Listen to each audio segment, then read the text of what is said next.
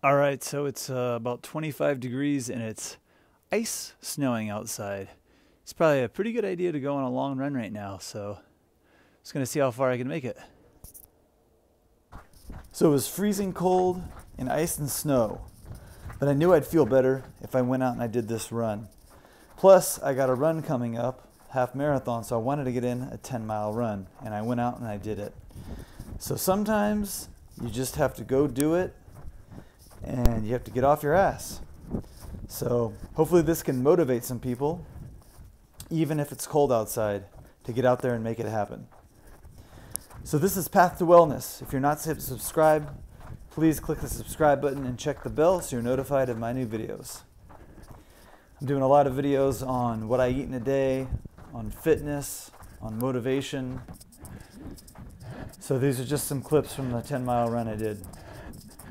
And there's going to be a lot more to come. So thanks for watching. Please give it a thumbs up if you like it, and we'll see you soon.